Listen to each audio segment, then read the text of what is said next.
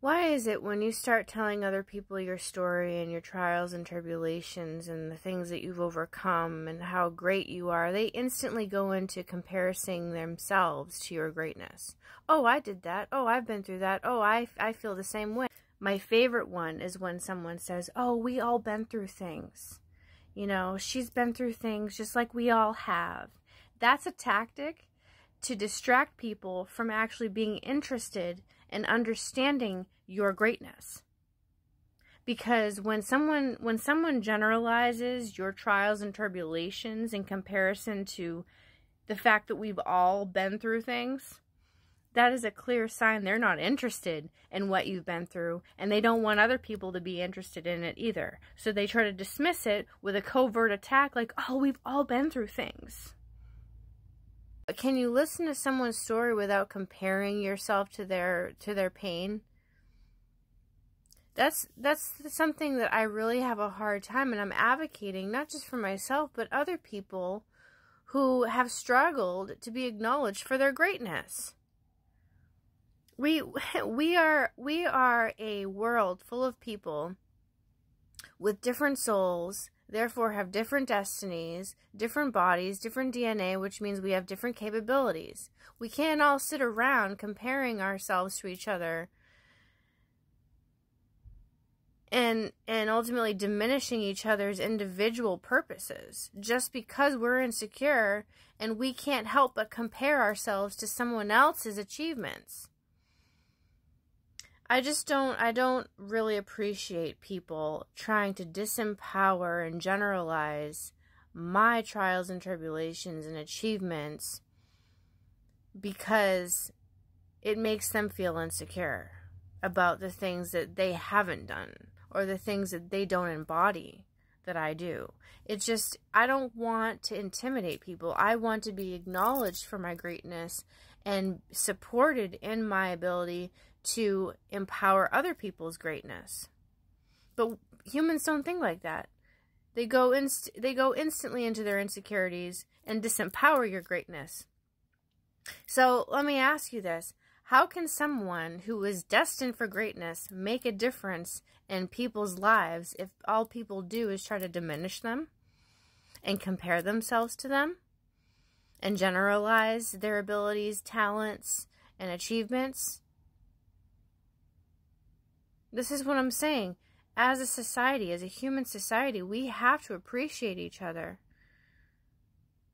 We have to acknowledge each other's individual strengths, abilities, purposes, gifts, without trying to, you know, um, feel jealous about it.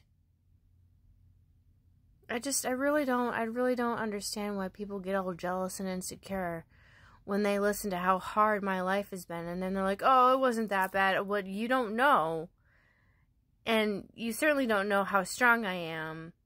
So you can either be my friend and support me so that I can support you or you can just be jealous and immature and low vibrational and I don't have to be around you. Greatness is all about surrounding yourself with people who don't have to compare their greatness to yours. It's about letting someone be themselves, empowered in their own power, without feeling insecure. It's time to empower each other, and I was meant for greatness. The things that I have overcome make people feel insecure. I understand that. I'm a very, very strong, resilient, determined person. I understand that I intimidate people. I'm not hiding it anymore. I'm just not. And people, if they can't come up on me correct, I'm not going to even give them a time of day. I can literally feel people. And if I'm ignoring them, there's a reason. I only talk to people I can feel their greatness. I'm just a really higher evolved person, and that intimidates people. They can't take it. They cannot understand how I am so powerful and it makes them feel like crap, but it's not my problem. You can either rise to the occasion and be great with me or stay below me and try to pull me down. Either way, I'm still going to rise. I'm not backing down. When you come from a place of wanting to make a good impact on the world, nothing's going to stop you. As a closing note, don't ever let anyone make you feel insecure or undeserving to be acknowledged for your uniqueness and greatness.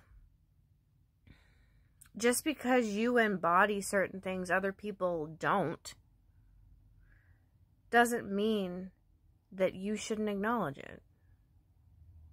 People are going to get jealous. People are going to try to dismiss having your greatness acknowledged any way they can, just so that they don't have to feel jealous. It's all about jealousy. It really is, you know, and you're going to get it from all angles. That's life. But I'm here to advocate for people who are gifted, who are genuine, who are pure of heart. Okay?